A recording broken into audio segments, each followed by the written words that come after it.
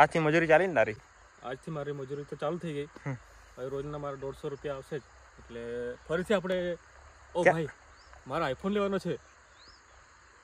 IPhone હા. મજૂરી કરીને? હા આઈફોન હેલો મિત્રો સ્વાગત છે આજના નવા વ્લોગમાં. મિત્રો આજે અમે આવ્યા છીએ ખેતરે. મિત્રો આપણે જે ભીંડાનું રોપણ કર્યું છે એમાં દવા નાખવા માટે આવેલા છે.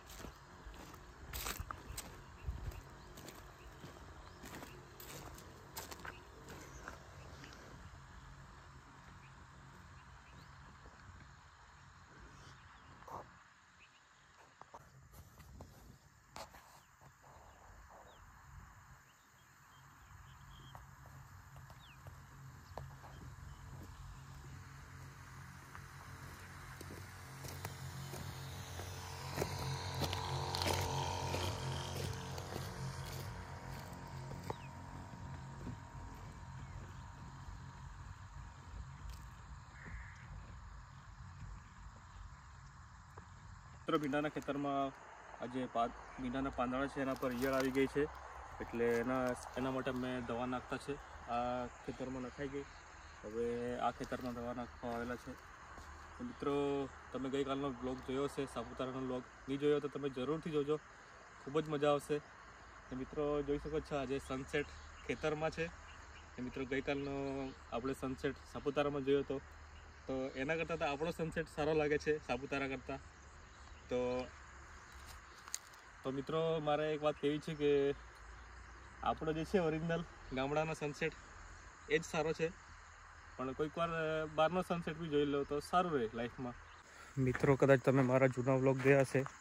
તો જૂના વ્લોગમાં મિત્રો, મેં તમને કીધું હતું કે ચોળાની ખેતી કરેલી છે અમે. તો મિત્રો, ચોળાની ખેતી કરેલી છે એ હું તમને બતાવું છું. આ રીતે ડ્રીપ ઇરિગેશનના પાઇપ છે, આવી રીતના. એ પાઇપોમાં જ્યાં જ્યાં કાણા છે ત્યાં આગળ આપણે ચોળાના બી રોપાણ કરેલા છે. આવી રીતના આખા ખેતરમાં રોપાણ કરેલું છે. તો મિત્રો, આમાં પણ દવા નાખવી પડશે કારણ કે આમાં પણ ઈયળ આવી ગઈ છે.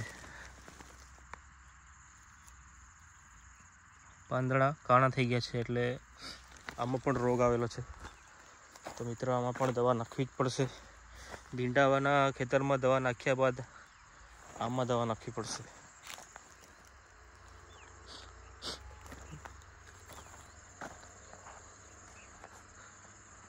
મિત્રો આ મૂળાનું ખેતર છે. મૂળાના છોડવા કેવા સરસ મજાના લાગી રહ્યા છે.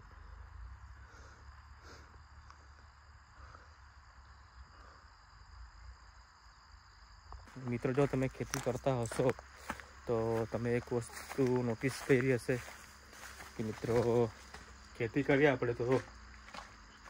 રોગ બહુ જલ્દી આવે ખેતી કરે, ખેતીમાં કોઈ પણ ખેતી હોય. તો મિત્રો, ખેતીમાં દવા સમયાંતરે નાખવી જ પડે. ને તો આપણી ખેતી ફેલ થઈ જાય.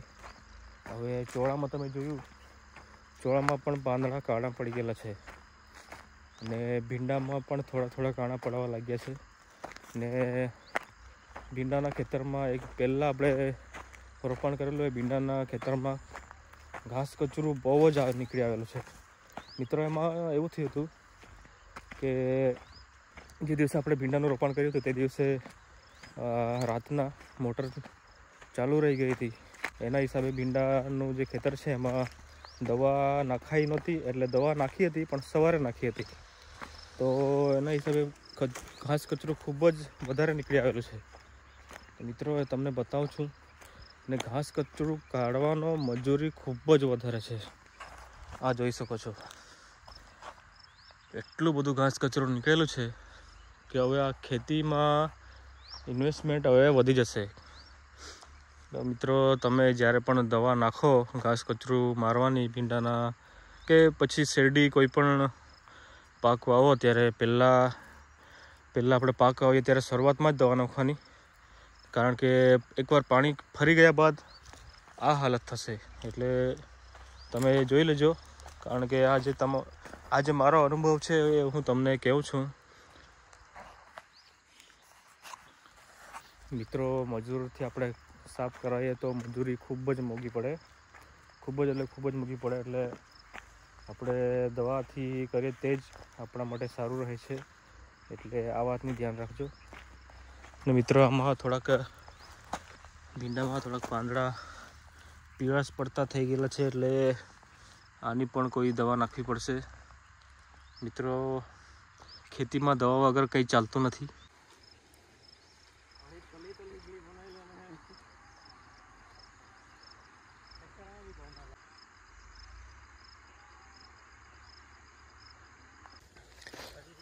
મિત્રો, મૂળાની ખેતી કરવાનું ચાલુ જ છે. હજુ બી મૂળા વાવવાના બાકી છે. આ બધી પાઇપલાઇન કરેલી છે એટલે મૂળા વાવવાના બાકી છે. મિત્રો. મિત્રો મૂળા વાવવાના છે એટલે પાઇપલાઇન તો કરેલી જ છે અમે. પણ મૂળ- મૂળાનું બિયારણ પૂરું થઈ ગયેલું છે.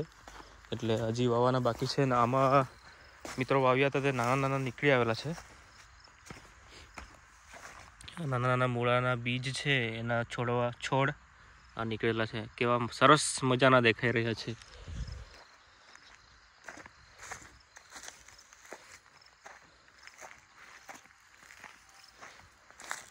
મિત્રો, અહીંયા પાઇપ ખુલી ગયું છે. જેવો આપણે ચાલુ કરીશું તેવું અહીંથી પાણી લીકેજ થઈ જશે અને ફરીથી આમાં જશે એટલે. આને બંધ કરવું ખૂબ જ જરૂરી છે.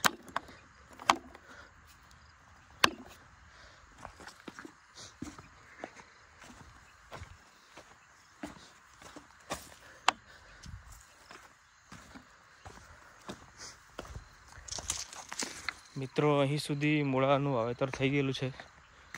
અહીં સુધી આજે આ પાવડો મૂકેલો છે. અહીં અડધે સુધી જ પાણી ગયું છે. ત્રણ ચાર ઉભારમાં મૂળા વાવવાનું બાકી છે. ભાઈ તું કાલે સાપુતારામાં બહુ મજા કરતો હતો આજે નીકળી ને તારી બધી? હે તારી બધી? સાપુતારા જાય તો મજા તો કરવી જ પડે ને. શું કરવા ગયેલા આપણે? મજા જ કરવા ગયેલા ને? બાકી આજે નીકળી ને તારી બધી હેકડી નીકળી ને? તે મેં એટલા બધા મજૂરી કરીને પૈસા ભેગા કર્યા હતા દોઢસો દોઢસો રૂપિયા એક દિવસના. તે મારા ગઈકાલે તો મારા કેટલા? મેં લગભગ બે હજાર રૂપિયા બચાવેલા હતા બે હજાર રૂપિયા મારા બધા સાપુતારામાં પૂરા થઈ ગયા. બસ બે હજાર રૂપિયા? હા યાર શું કરું? આટલા જ તો મેં મજૂરી કરીને કમાયેલા હતા.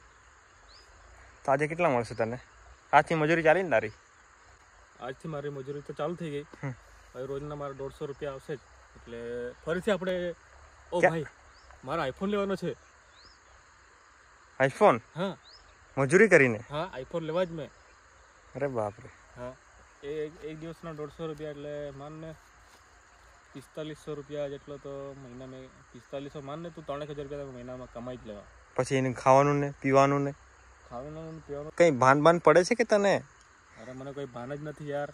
જવા દે ને. આઈફોન લેવા ઉઠે છે? મેં આઈફોન માટે આઈફોન પાછળ તમે ગાંડા થઈ ગયા છું. કેમ? એનું હું એનું હું તને શું જોઈએ છે એમાં? એટલે તું ગાંડો થઈ ગયો છે. તમે બધા ખેડૂતો બધા હાઈફાઈ મોબાઈલ વાપરે તમે બધા ખેડૂતો કરોડપતિ બની જાય એટલે તમે હાઈફાઈ મોબાઈલ વાપરે. તો મજૂરો નહીં વાપરે કે આઈફોન? તમારી વાત બી બરાબર છે એમ તો. હા તો મજૂરો બી આઈફોન વાપરવો જ પડે ને. તમે વાપરે એવું જ. એટલે આઈફોન ખાલી સેટ લોકો માટે જ બનાવેલો છે. ના ના ના. ના ના મજૂર માટે બી છે હા. ઓ સેટ જરાક મને હપ્તા ભરા મેં આઈફોન મેં હપ્તા પર લેવાનો છું. હપ્તા પર? હા. ઓ સેટ જરાક મને ઉપાડ આપજો ને હપ્તા ભરવા માટે. કઈ નહીં જા તું લઈ લે દીકરા. સેટ યાર આટલું કરી દે ને. એકાદ હપ્તો ચૂકીએ તો મને હપ્તો ભરવા લાગે યાર. હમ વાંધો નહીં વાંધો નહીં હે ને? હા. મિત્રો ખેતી કરવી પણ ખૂબ જ અઘરી છે. કારણ કે ખેતીમાં આપણે વાવીએ એટલું ઇન્વેસ્ટમેન્ટ કરીએ એટલી મહેનત કરીએ. તમે મારા જૂના વ્લોગ જોયા હશે. અમે કેટલી મહેનત કરી છે ખેતી કામમાં. તો મિત્રો તો પણ પાક નિષ્ફળ જઈ શકે છે. તો પણ આપણા પૈસા આપણી મહેનત આપણા રૂપિયા બધું ફેલ થઈ શકે છે. તો મિત્રો, ખેડૂતનું દુઃખ તો ખેડૂતને જ ખબર હોય. તો મિત્રો, વીડિયો ગમ્યો હોય તો વિડીયોને લાઈક કરજો અને ચેનલને સબસ્ક્રાઈબ કરજો. મિત્રો, મળીશું આવતીકાલના નવા બ્લોગમાં. ત્યાં સુધી બાય, જય હિન્દ, જય ભારત.